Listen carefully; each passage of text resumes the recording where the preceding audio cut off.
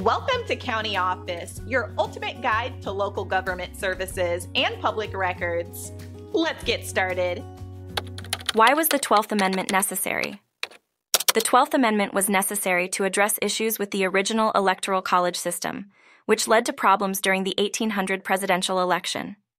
Before the 12th Amendment, electors cast two votes without specifying a presidential or vice presidential choice, causing confusion and tie situations. This resulted in the House of Representatives having to decide the president, as seen in the 1800 election. The amendment aimed to separate the electoral votes for president and vice president, ensuring clarity in the election process and preventing similar deadlock situations.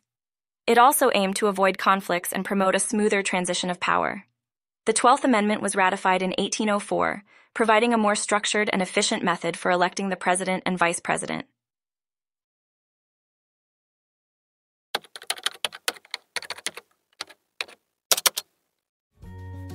To learn more, check out these links, which you can click in the description below.